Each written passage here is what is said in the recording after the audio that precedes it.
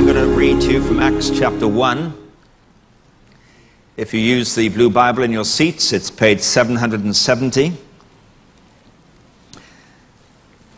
I'm going to read Acts 1, verse 6 down to verse 9. And if you've been here the last few weeks, you know we've been looking into these early verses of Acts chapter 1. We're taking a little longer than I originally intended but I don't apologize for that. These verses, this section is rich.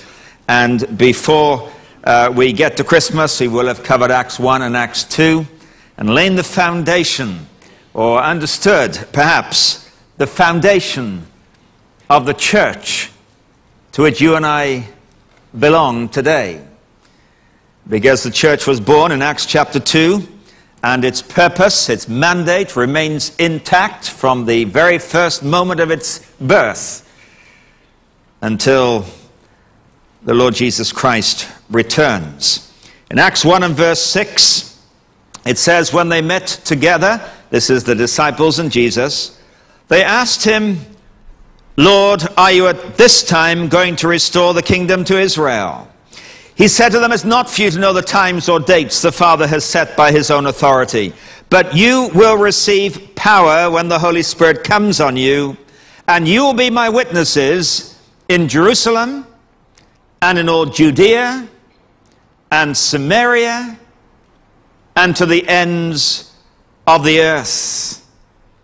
After he said this, he was taken up before their very eyes, and a cloud hid him from their sight. And therefore, those words in verse 8 are the final last words of Jesus on earth as a man before he ascended to his Father. Now let's jump a few millennium to Revelation chapter 7. And I want to read verse 9 and 10, where John on the Isle of Patmos has this revelation into events that will take place in the future. And in this chapter, he is in heaven. Revelation 7, it's the last book of the Bible. Verse 9. After this I looked, and there before me was a great multitude that no one could count from every nation, tribe, people, and language. Notice that every nation, every tribe, every people, every language standing before the throne and in front of the Lamb. They were wearing white robes and were holding palm branches in their hands, and they cried out in a loud voice, Salvation belongs to our God who sits on the throne and to the Lamb. And there we have that marvelous picture of men and women, boys and girls from every nation, every tribe, every people, every language, but they're singing now in unison salvation belongs to God. And you can write across, across Revelation chapter 7 after Acts 1, verse 8 mission accomplished. Every people, every nation, every tribe, every tongue, every language. But the final commission of Jesus is that that is the task of the church to take that gospel to every tribe and tongue and people and nation. You see, a church that does not evangelize is a contradiction in terms. It's like describing a fire that does not burn. A fire that does not burn is a contradiction in terms. You see, if we're not evangelizing, we're not actually a biblical church. We might call ourselves that, but we are in actual fact a religious club where we meet for comfort and convenience. But we're not doing the job for which we exist, which includes the evangelization of the world. Now we began to look at this verse 8 last time. Jesus talked about three things I suggested. He talked about power. You will receive power when the Holy Spirit comes on you. We talked about that. And we're going to look in Acts chapter 2 at the reception of that power in a couple of weeks' time. He talked about a purpose, and you will be my witnesses. Not just do witnessing, but be witnesses. It's going to be what you are. And then he talked about a procedure. You'll be my witnesses in Jerusalem and in all Judea and Samaria and to the ends of the earth. And we ran out of time to talk about that procedure. And so we're going to pick it up this morning. And I'm going to give as a title to this this morning, The Global Strategy of the Church. The global strategy of the church. You'll be witnesses in Jerusalem. In fact, there are a series of ever expanding circles here. There's first of all Jerusalem, the city. Then Judea, the second circle, the province. Then Samaria, the third circle, that is a new nation or a group of people who share a common culture together, but they were separate from the Jewish people. Now he says you go in, you cross the barrier into that culture to Samaria, and then the fourth circle is down to the ends of the earth, the globe. And I want to say to you that every healthy church from Acts chapter 2 until today must be involved in those four circles of witness. You see, no church can say, in effect, well, we are a Jerusalem church, we work in our own community, we minister to our community, but we're not involved or concerned about world mission. No biblical church can say that. And no biblical church can say, well, we are called to be a world mission church and we'll leave the local evangelism to somebody else because both belong to the responsibility of the church wherever it lies. One of the statements of Oswald Smith that has often been quoted, he had an apt way of uh, uh, producing uh, sort of slogans, really, quotable statements. He said, the church, the, sorry, he said, he said, The light that shines the furthest shines the brightest at home. That the Jerusalem ministry gives substance and power to the global ministry that will come with the church. Now, some have seen Acts 1 8 as a sort of index to the book of Acts. You'll receive power, that's happened in Acts chapter 2, or 1 and 2, we might say. And you'll be witnesses in Jerusalem, that was in Acts chapter 2 to Acts chapter 7. And Judea and Samaria, that's in Acts chapter 8 to Acts chapter 12. And to the ends of the earth, as Acts chapter 13 to chapter 28, when we have Paul's missionary journeys throughout the Mediterranean. Now, whether Luke intended it as some sort of index, I don't know, but the fact that the book follows that pattern tells us one thing very simply. They actually were obedient. They did what Jesus told them to do. And the circle spread right to the heart of Rome. In fact, it's not without significance that, that Acts begins in Jerusalem, which in those days was just an outpost of the Roman Empire, but the final chapter takes place in the city of Rome, the very heart and hub of the greatest empire in the world of the day. And you can be sure from Rome, the streams would spread throughout the known world. Now, of course, there's a particular geographical reference here because of where they were. If Jesus had been born in Barrie instead of Bethlehem and Jesus made his way to Toronto instead of Jerusalem, he would have probably said, You'll be witnesses in Toronto and in all Ontario and in Quebec as a sort of separate culture within the one country, as Samaria was, and then to the ends of the earth. And every church has to adapt this to their own context and their own setting. Now, as I said just now, it's not just doing witnessing, it's being witnesses, and that is not just speaking, it is a combination of our words and our works. Those two must always go together. What we say and how we live. And again and again, it is the works, as in the case of Jesus, it was his works which provoked the questions, which led to his words of explanation about the gospel, like the night that Nicodemus a Pharisee, a leader in Jerusalem, came by night, presumably to avoid being seen, knocked on his door, and he said to him, Rabbi, we know you're a teacher who has come from God. And this is the reason no one can do the things you do unless God is with him. Because there are things about your behavior, your conduct, your works that defy a natural explanation. We know that, that you've come from God. So will you tell me about it? And Jesus said, in effect, Nicodemus, you're right, but you too must be born again. You too can receive the life, spiritual life that you've seen evidenced in me. But it was the works that provoked the question from Nicodemus. And I could give you other examples if we had time, which I won't. Now, of course, there's a combination of works and words that go together. I mean, just words or just works are inadequate. You know, an extrovert might say, Well, I witness with my words, they just keep talking. An introvert might say, I witness with my works. I just do things, I don't talk about it. Well, of course, we are to live and function and witness in a way that is true to our own personalities. That, that is very true. We're not all to be like each other. But you see, words without works to confirm them will be inadequate. Works, words without, sorry, works, I'm getting confused here, aren't I? Let me put it this way. Our works need an explanation. That's why we need words. Our words need authentication. That's why we need works to authenticate the words. Does that make sense?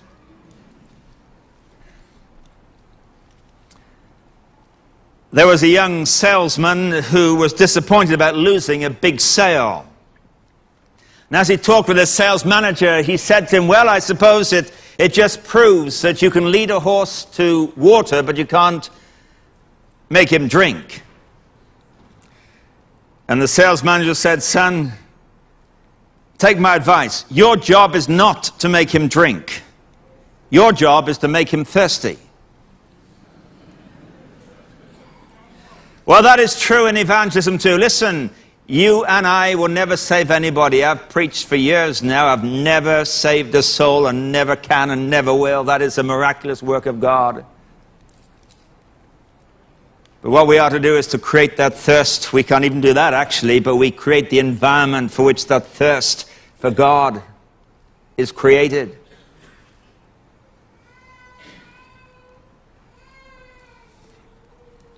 Maybe there's some of us here this morning, and you're here this morning because somebody, maybe at work, maybe somebody in your family, maybe a neighbor, maybe a friend, has created a thirst within you. That's why you're here this morning. Some of you watching on television. There's a thirst in your heart and your soul. You know there's a seeking for something bigger than what you have, some meaning you've never found, and it's Christ you're seeking for. That thirst is a work of God in your heart, and He'll bring it to fruition as you seek Him, because if you seek Him, you'll find Him.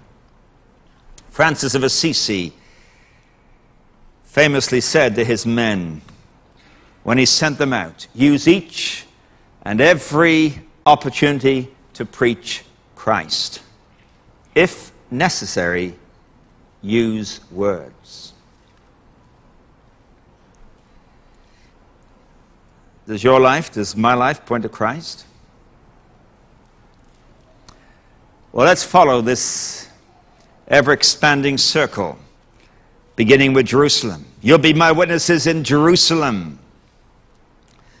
That, of course, is where they were at the time. It would have been a lot easier, no doubt, if they'd heard him say, You by, by witnesses to the ends of the earth. Peter, would you go up to Antioch? John, would you go to Rome? Uh, Matthew, would you go to North Africa? You see, those would be places where nobody knew them.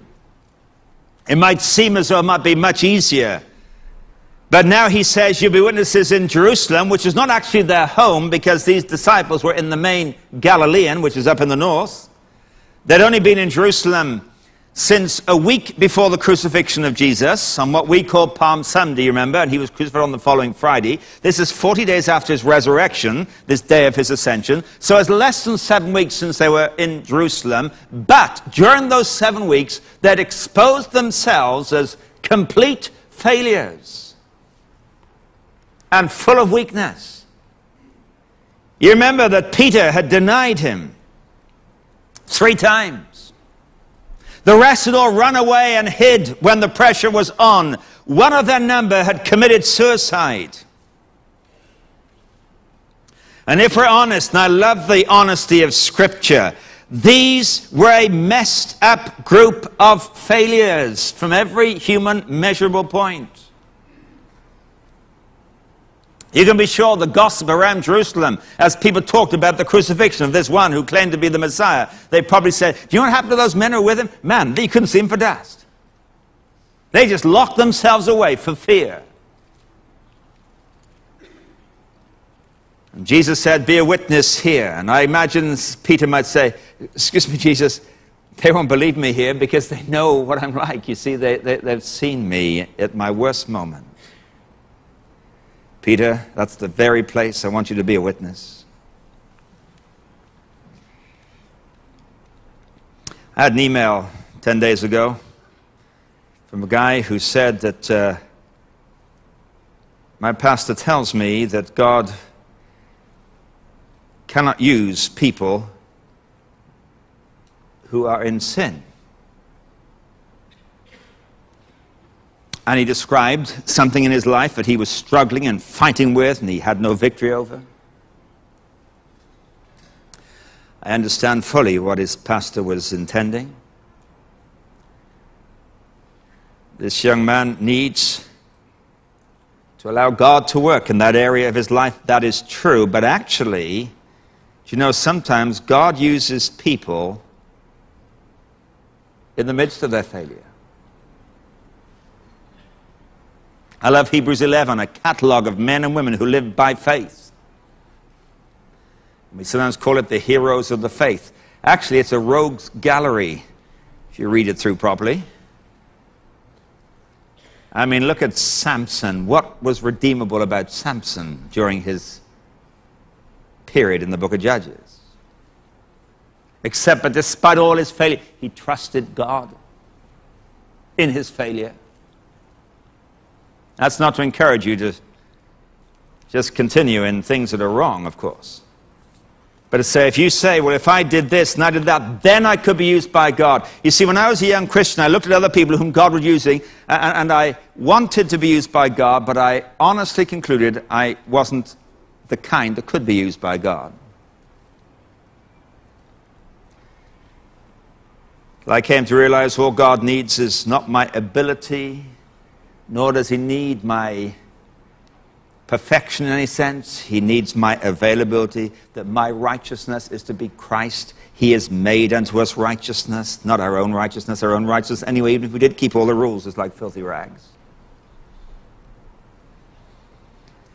If we did everything well, that is not a ground on which God would use us. And he's saying to these men, go back, despite your brokenness and your disappointment. In fact, during the three years of the time that Jesus had his 12 with him, we could say, quite honestly, he presided over their brokenness for those three years. Came to its climax, really, at the cross when they ran away. Brokenness is God's tool for our good. He says to these men, You be witnesses. You'll receive power. You'll be witnesses right here in Jerusalem. And this is purely my imagination, but I can imagine him saying, Peter, remember that girl who asked you if you were one of my disciples and you cursed and denied it? Would you recognize her? Peter, would you go into the city and find her? And tell her you are one of my disciples and tell her what that means? John, you were the last to leave the cross. You were there when that centurion looked up and said, Surely this was the Son of God. John, would you go down to the barracks and look for him? Tell him he's right.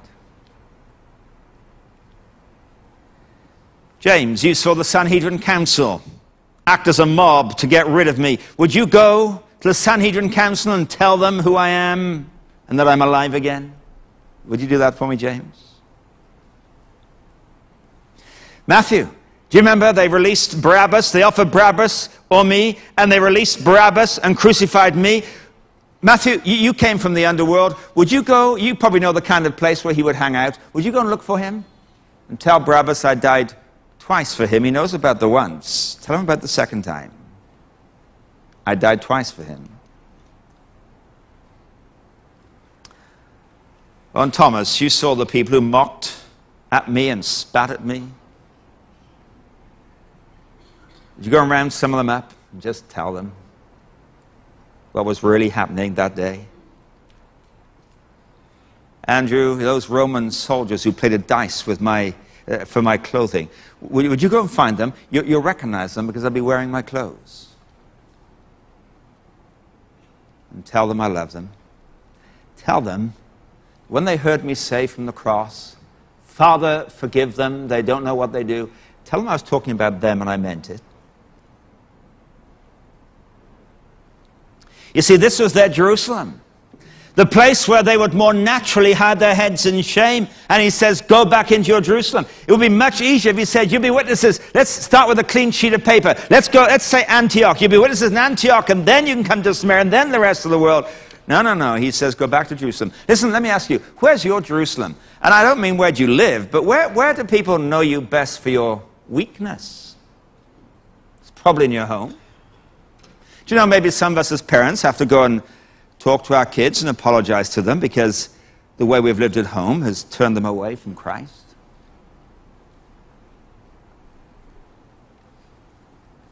But you see, you receive power, said Jesus.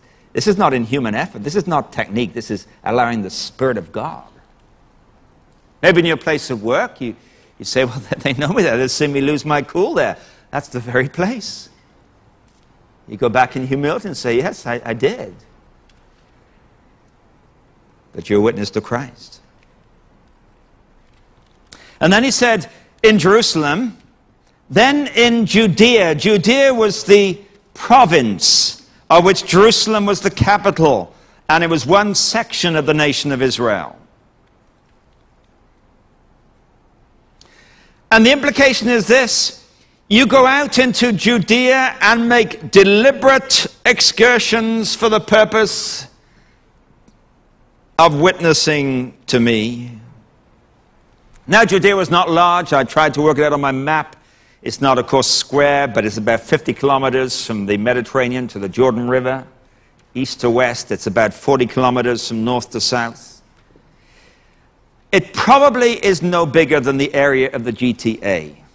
So it's not a big area geographically. Of course, they didn't have the kind of transport we take for granted, so it seemed big to them. It wasn't heavily populated. There was a city of Jerusalem, and then there were smaller towns, you know, Bethlehem and Hebron and uh, places like that.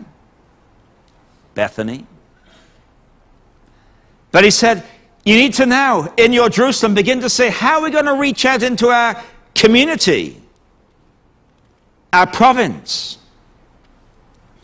We'll come back to that in just a moment. And then he said, and to Samaria. Now, Samaria was hostile territory. Although it was a section within the greater Israel, as the woman of Samaria said to Jesus when he met her in John chapter 4, she said, Why are you talking to me? Jews have no dealings with Samaritans. And there was a reason why Jews had no dealings with Samaritans. In 722 BC, the Assyrian superpower of that day had invaded that part of Israel, taken the people off into exile, left a few of them behind to till the ground, sent some Assyrians to oversee them. They intermarried, or at least they interbred with them. And the children they produced were neither Jewish nor Assyrian, and they became known as Samaritans, which is the name of the city, Samaria, that dominated, that was the capital city of that area. And so the Samaritans, for 700 years, have known rejection and hostility, both from the Jews, in particular from the Jews, because they were not pure, but also from the Gentile community. I mean, that's why the story that Jesus told of the Good Samaritan was so shocking in its impact on those first hearers about a man who got beaten up and left for dead on the side of the road. And a priest came by. And in effect said, I'm in a hurry, I've got a meeting to go to. And a Levite came by. I'm sorry, I don't do this kind of thing. I'm in a hurry too. And so who's going to help this poor man lying on the side of the road? And of all people, the people the Jews would have no dealings with, the Samaritan got off his donkey, bound up his wounds, put him on his donkey, took him to an inn, paid for his keep, and cared for him. The significance of that is not just somebody did it, but there was a Samaritan who did it. That's the significance of that story. Totally rejected. Now says Jesus, go to Samaria. What that means is this. When you've reached, when you're reaching into your city and your area, your province, then he says, cross cultural boundaries that have been set up. Cross the racial boundaries that exist cross the political boundaries that exist, cross the social boundaries that exist, cross the sectarian boundaries that exist. And this could be hard because they'll only face suspicion, of course, and some hostility. Though you'll find in Acts chapter 8, the first revival outside of Jerusalem took place in Samaria because where people are most hostile, it's often a cover up for their greatest need and their awareness of that need. But we'll look at that in chapter 8 a little bit. You know, there's no city in the world probably has as many Samarias as this wonderful city of Toronto. The GTA, not the city, but the GTA has a population of 5 million. That's the greater Toronto area. About 5 million people. It's one of the most multicultural cities in the world. Officially, there are over 100 languages and dialects spoken within this city. Over one third of Toronto residents speak a language other than English at home. One third. Now, Toronto is not the melting pot that uh, maybe uh, American cities, the south tend to be, where everybody merges together, it, it's become more a patchwork quilt where you've got your different identities and different communities. You can go to the city and there's particular communities that live in those areas of the city. 43% of the population report themselves as being part of a visible minority in this city. 49% of all Toronto residents were born outside of Canada. And Toronto has 79 ethnic publications in this city alone. 79 publications that are ethnically distinct that you can pick up in bookstores and magazine shops. Now, we thank God that also Toronto is ranked as the safest large metropolitan, metropolitan area in North America. May not always believe that when you read the newspapers, but it's the safest city in North America. But you know, many of these folks are outside the range of normal Christian influence. And we have to ask the question, we're obligated to ask the question, we as a church, we as a community of churches within the city have to be asking the question, how are we to reach across some of these barriers. And we're doing so. And we have represented here this morning some outreaches that are specifically addressing certain ethnic groups of people within our city. I mentioned uh, Quebec being equivalent to Samaria a moment ago, and the fact that Quebec is uh, a country, or uh, not a country, it's a other province let me not be political here. It's, it's a province within a country that has, a, ha, has an identity of its own, has a culture of its own, has a language of its own. It just so happens to be that Quebec is the least evangelized place in all the Americas. That's North and South and Central America. The least evangelized area is Quebec. And I wonder if we the church in Canada have taken that seriously enough. And by the way, I'm happy to tell you, in case you don't know, that as from last Sunday morning, we are broadcasting our Sunday morning service translated into French into Quebec every week, starting last week. That's, that's on radio. So that the 30 minute program that takes basically the message of Sunday, translates into French. I don't preach it, but somebody else does. Beginning last week, because we're concerned, we're asking the question what is our responsibility in Quebec? You see, said Jesus, Jerusalem belongs to you, so does Judea, so does the responsibility of Samaria. Now, it's very interesting to compare this verse, Acts 1 8, with another verse, Acts 8 1. You ever compare those two verses? You know what Acts 1 8 says. We just read it. You receive power and the Holy Spirit comes on you. You'll be witnesses in Jerusalem and all Judea and in Samaria and to the ends of the earth. Now, in Acts chapter 2, they did receive power and their witnesses in Jerusalem. In Acts chapter 3, they were witnesses in Jerusalem. In Acts chapter 4, they're witnesses in Jerusalem. In Acts chapter 5, they're witnesses in Jerusalem. Acts chapter 6, they're witnesses in Jerusalem. Acts chapter 7, they're witnesses in Jerusalem. Now, it sounds as though the needle has got stuck, doesn't it? For those who remember the days of the gramophone. They were told witnesses in Jerusalem, Judea, Samaria, and the ends of the earth. But they're witnesses in Jerusalem, Jerusalem, Jerusalem, Jerusalem, Jerusalem. This is not just weeks, it is months, it might even have been years. It's hard to exact, be exact about the time span involved there. But they're still in Jerusalem. I, I think it may have got very comfortable in Jerusalem. Every Sunday morning, Peter would preach. Sunday night, John would preach. James the younger would lead the youth ministry. Mary Magdalene, principal of the Sunday school. Mary, the mother of Jesus, leads the prayer meeting on Tuesdays. Nicodemus leads the Bible study on Wednesday night. Philip is in charge of the outreach program of the church. Stephen was probably the music man because he got martyred.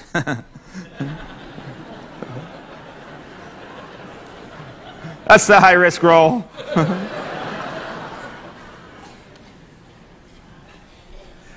I mean, why would you go to Judea and Samaria when you can be basking every Sunday in the quality of leadership that's going to be there in the church in Jerusalem? First generation men and apostles.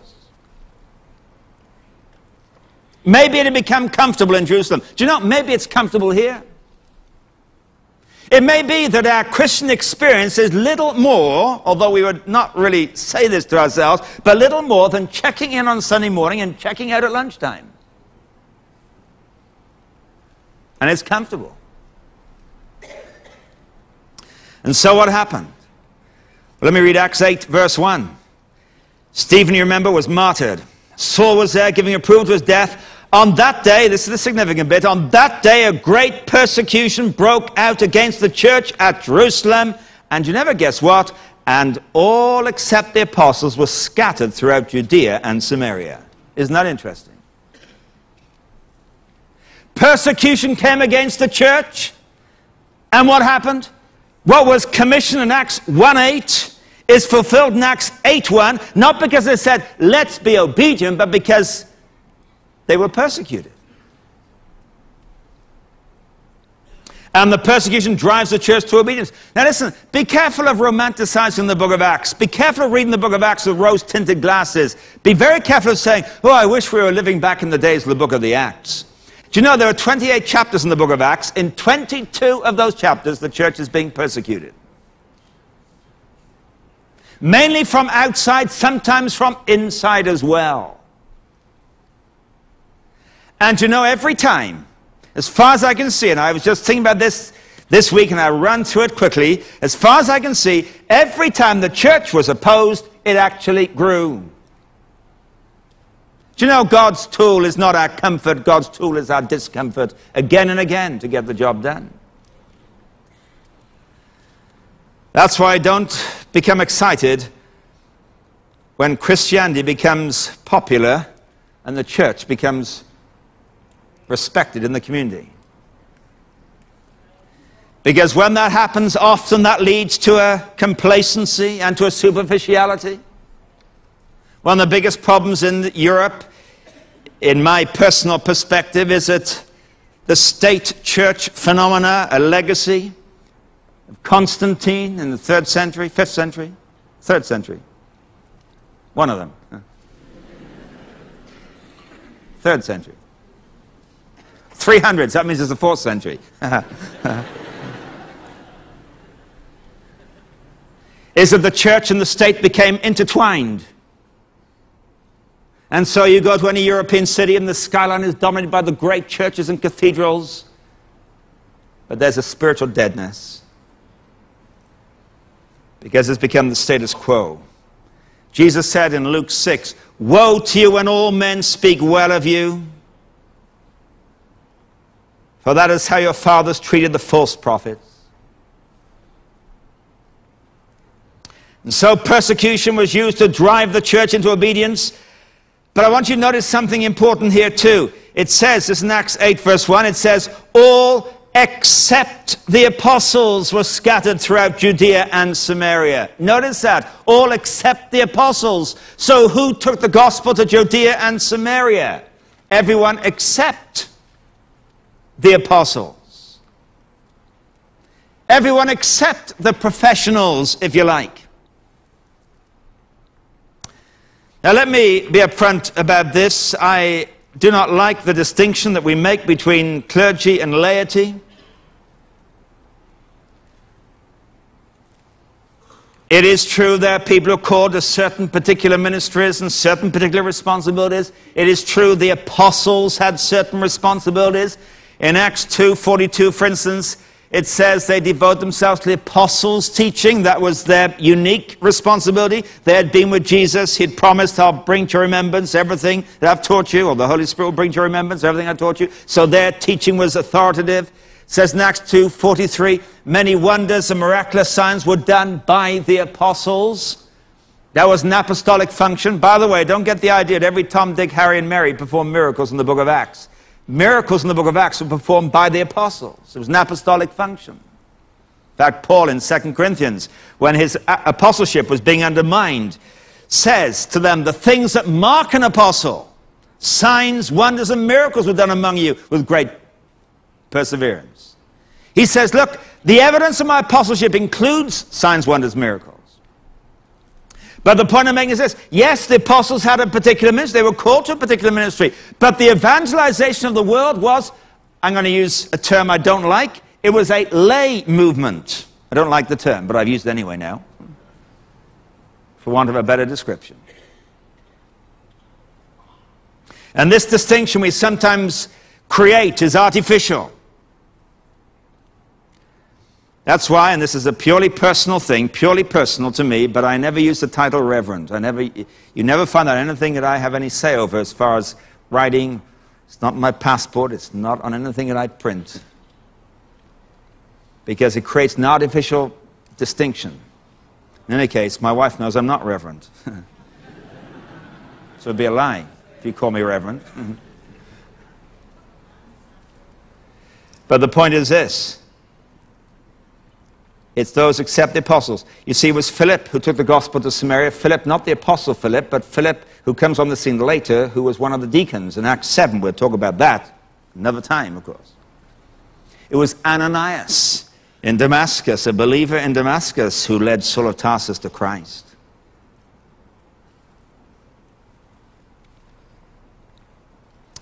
The point is this that the evangelism was the task of the church. I want to define it this way that evangelism is the whole church taking the whole gospel to the whole world. I'll say that again. I'm going to ask you to say it with me. I'll say it first again. Evangelism is the whole church taking the whole gospel to the whole world. Would you say that with me? Evangelism is the whole church taking the whole gospel to the whole world. Let's do it again. Evangelism is the whole church taking the whole gospel to the whole world. So, who does that include? The whole church. If you're not a Christian, you're exempt. But if you are, you're not. And they were to take it to the world by first being involved in Jerusalem, Judea, Samaria, and then finally it says to the ends of the earth. Now, that doesn't mean, of course, that the more obedient you are, the further you will travel. This is the corporate responsibility of the church. Every biblical church is to be a missionary church. If it's not a missionary church, it's not a biblical church. This is part of our responsibility. And the local aspect and the global aspect have again sometimes been artificially divided. But they're not. They're part of one event, the one outreach, the one connecting with the world. How we in this church thank God for the vision of Oswald J. Smith when he founded this church, that it would be a church that touches the world. And it has been that. And we thank God that that is written the DNA of the whole church here. That we're a world missions church, but that world mission is the top of the pyramid that stands on the foundation of the Jerusalem church, the Jerusalem evangelism, the Samaria evangelism, the, the, the, the Judea evangelism, the Samaria evangelism, and then the global evangelism. And the local and global are connected. And you know, the modern missionary movement began with William Carey in 1793 when he went to India and for centuries there had not been missionaries who had gone from one country across international borders like that. And you know, William Carey faced enormous opposition, much of it from fellow Christians, from the church. In fact, Oswald Smith, in his book, The Challenge of Life, says this that the directors of the East India Company opposed William Carey's work. And they sent this resolution to the British Parliament. I quote it. The sending out of missionaries into one Eastern possession is the maddest, most extravagant, most costly, most indefensible project which has ever been suggested by a moonstruck fanatic. That's a good encouragement for missionary, isn't it? And also, Smith adds in that book that in 1796, which is three years after Carey had gone to India, the General Assembly of the Church of Scotland passed the following infamous resolution. I quote, to spread the knowledge of the gospel amongst barbarians and heathens seems to us to be highly preposterous. Well, thank God the Church of Scotland changed its mind. One speaker in the British House of Commons said he'd rather see a band of devils let loose in India than a band of missionaries. But William Carey stood the ground, became the father of modern missions. And you know, today in this building we have people from that subcontinent who know Christ, in some part because of the movement of William Carey. Now, the gospel was in India before William Carey, actually.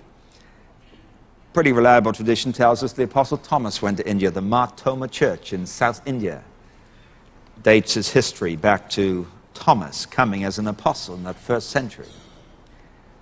But nevertheless, the evangelization of the world takes place against overwhelming barriers and obstacles and difficulties and stumbling blocks. But it's the commission of the church. And what Jesus said to those disciples as he gave them the baton and ascended to his Father, they passed the baton on. And the next generation passed it on, and the next generation passed it on. And today the baton is in our hands. We have opportunity that the Apostle Paul never dreamt about.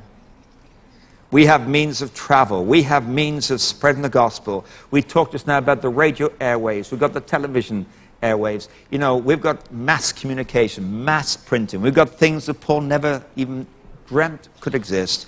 We have microphones. You can speak to hundreds of people at the same time. It has never been more straightforward.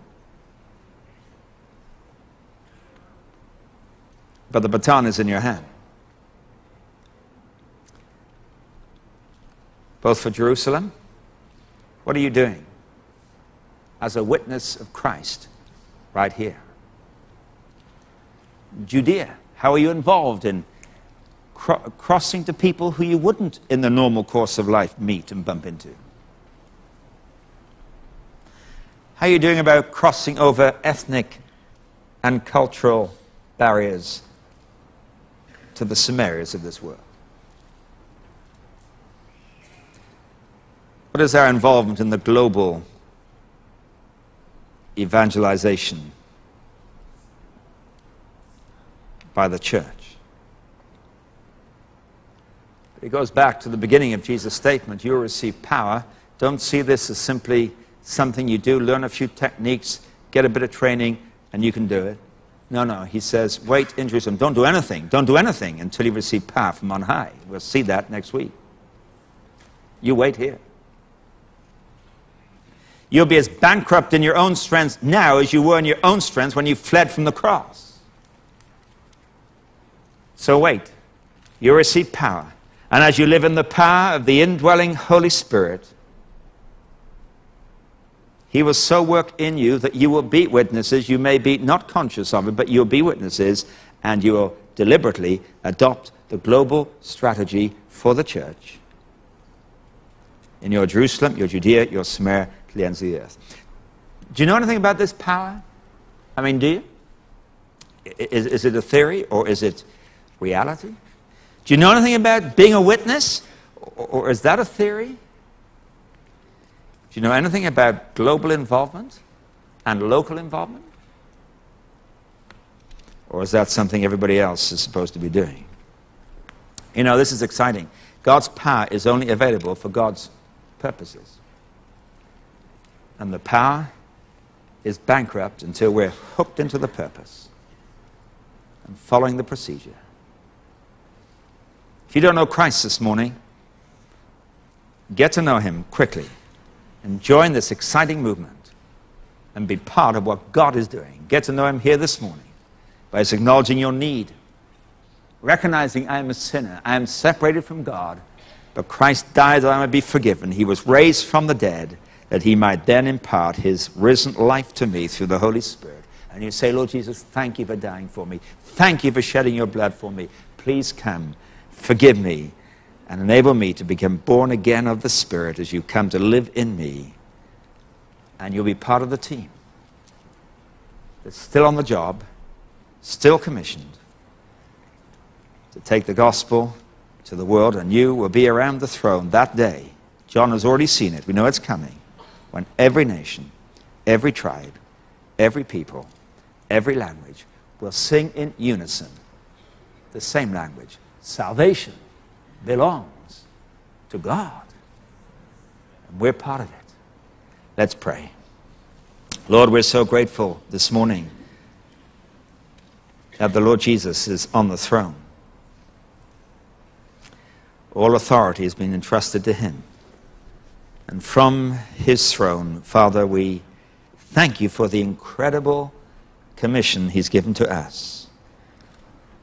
And we want, Lord Jesus, to be a church that really understands how to reach Jerusalem and Judea and Samaria and the ends of the earth. There won't be a few, it'll be the whole church taking the whole gospel to the whole world. Lead us, guide us, and bless us in this, we pray. We ask it in Jesus' name. Amen.